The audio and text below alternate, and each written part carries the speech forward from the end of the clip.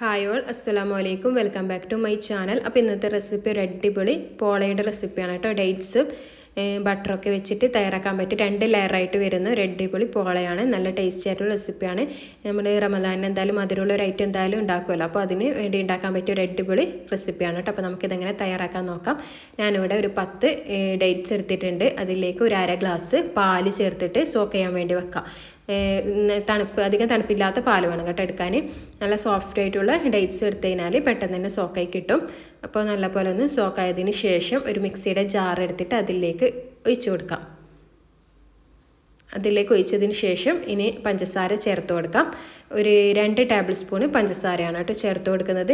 ഡേറ്റ്സിൽ അത്യാവശ്യം നല്ല മധുരം ഉണ്ടാവില്ല അപ്പോൾ മധുരം കൂടിപ്പോവും. അപ്പോൾ രണ്ട് ടേബിൾ സ്പൂണ് കറക്റ്റ് അളവാണ് കേട്ടോ പിന്നെ ഇതിലേക്ക് ഒരു ടേബിൾ സ്പൂണ് ബൂസ്റ്റ് പൊടിയും കൂടി ചേർത്ത് കൊടുക്കാം. നല്ലൊരു ടേസ്റ്റാണ് കേട്ടോ ബൂസ്റ്റ് പൊടി ചേർത്താൽ അതും മസ്റ്റായിട്ട് ചേർക്കുക സ്കിപ്പ് ചെയ്യരുത്. എന്നിട്ട് അത് ആദ്യം നല്ലപോലെ ഒന്ന് അടിച്ചെടുക്കാം. ആ ഡേറ്റ്സ് ചെറിയ ചെറിയ കട്ടകൾ ഉണ്ടായാലും കുഴപ്പമൊന്നുമില്ല കേട്ടോ എന്നാലും അത്യാവശ്യം നല്ലപോലെ അടിച്ചെടുക്കാം. പിന്നെ ഇതിലേക്ക് മുട്ട ചേർത്ത് കൊടുക്കാം. മൂന്ന് മുട്ടയാണ് കേട്ടോ ചേർത്ത് കൊടുക്കേണ്ടത്. മൂന്ന് മുട്ട ചേർത്തതിന് ശേഷം അതൊന്ന് ജസ്റ്റ് ഒന്ന് മിക്സ് ആകുന്നത് വരെ മാത്രം ഒന്ന് അടിച്ചാൽ മതി കേട്ടോ. ഒരുപാടങ്ങ് സമയം ഇട്ടടിക്കണ്ട അതിന്റെ ഷേപ്പ് മാറിപ്പോവും. അപ്പോൾ ജസ്റ്റ് ഒന്ന് മിക്സ് ആകുന്നത് വരെ മാത്രം ഒന്ന് അടിച്ചാൽ മതി. ഇനി നമ്മുടെ പോളയുടെ പാൻ എടുത്തിട്ട് അതിലേക്ക് ഗീ ചേർത്ത് കൊടുക്കാം.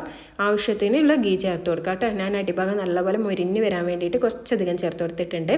എന്നിട്ട് ആ ബാറ്റർ അതിലേക്ക് ഒഴിച്ചു കൊടുക്കാം. നല്ലപോലെ ചൂടായതിന് ശേഷം ചെറിയ ചെറിയ കട്ടകളുണ്ട് കേട്ടോ. ഡേറ്റ്സിന്റെ സാരിയില്ല നല്ല കടിക്കുമ്പോൾ നല്ലൊരു ടേസ്റ്റിയാണ് അപ്പോൾ അത് ഇട വെക്കാം. ഇനി അടുത്ത സെക്കൻഡ് ലെയർ നമുക്ക് തയ്യാറാക്കിയെടുക്കാം ഞാനിവിടെ മിക്സിയുടെ ജാറ് വീണ്ടും കഴുകി എടുത്തിട്ടുണ്ട് ഇനി അതിലേക്ക് ബാക്കി അര ഗ്ലാസ് പാലുണ്ടല്ലോ അത് ചേർത്ത് കൊടുക്കാം. അധികം തണുപ്പില്ലാത്ത പാലാണ് കേട്ടോ. ഇനി ഇതിലേക്ക് ബട്ടർ ചേർത്ത് കൊടുക്കാം. നൂറ് ഗ്രാം ബട്ടറിന്റെ ഒരു കാൽ ഭാഗം നാലിലൊരു ഭാഗമാണ് കേട്ടോ എടുത്തിട്ടുള്ളത്.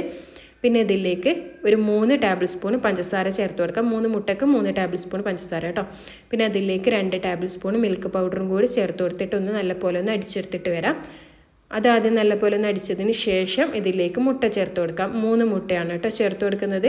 എന്നിട്ട് ജസ്റ്റ് ഒന്ന് മിക്സ് ആകുന്നത് വരെ മാത്രം ഒന്ന് അടിച്ചെടുക്കാം. ഒരുപാട് സമയം ഇട്ട് അടിക്കണ്ട. ഒന്ന് മിക്സ് ആകുന്നത് വരെ മാത്രം ഒന്ന് അടിച്ചാൽ മതി കേട്ടോ. അപ്പോൾ അതൊന്ന് ജസ്റ്റ് ഒന്ന് അടിച്ചെടുത്തിട്ടുണ്ട്. കണ്ടില്ലേ? ഇത് സെക്കൻഡ് ലെയറായിട്ട് ഒഴിക്കാൻ വേണ്ടിയിട്ടാണ് കേട്ടോ. അപ്പോഴേക്ക് നമുക്ക് ഫസ്റ്റ് ലെയറിൽ മേലെ ഭാഗം കുറച്ച് നെറ്റ്സ് ഒന്ന് ഇട്ട് കൊടുക്കണം. നിങ്ങൾക്ക് ഏതാണോ കയ്യിലുള്ള ഇട്ട് കൊടുത്താൽ മതി. ഇനി ഇല്ലെങ്കിലും കുഴപ്പമൊന്നുമില്ല കേട്ടോ. എന്നിട്ട് മുകൾ ഭാഗം ഒന്ന് കുക്കായതിന് ശേഷം മാത്രം ഇത് ഒഴിച്ചു കൊടുക്കുക കേട്ടോ. എന്റെ അത് കുറച്ചും കൂടി കുക്കാനുണ്ടായിരുന്നു അതാണ് മേലയിലേക്ക് ഇങ്ങനെ വന്നത്.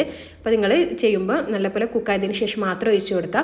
നല്ല ടേസ്റ്റി ആയിട്ടുള്ള റെസിപ്പിയാണ് കേട്ടോ. അപ്പോൾ എല്ലാവരും എന്തായാലും ട്രൈ ചെയ്ത് നോക്കണം. ലോ ഫ്ലെയിമിൽ വെച്ചിട്ട് ചെയ്യുക. വായിലിട്ടാൽ എലിഞ്ഞ് പോകുന്നൊരു ടൈപ്പാണ് കേട്ടോ. നിങ്ങൾക്ക് കുറച്ച് തിക്കായിട്ട് വേണമെന്നുണ്ടെങ്കിൽ കുറച്ച് മൈദപ്പൊടി ചേർക്കാം കേട്ടോ. അപ്പോൾ കുറച്ച് തിക്കായിട്ട് കിട്ടും. അപ്പോൾ എല്ലാവരും ട്രൈ ചെയ്ത് നോക്കിയിട്ട് ഫീഡ്ബാക്ക്സ് കമൻസിലോട്ട് അറിയിക്കാൻ മറക്കരുത്.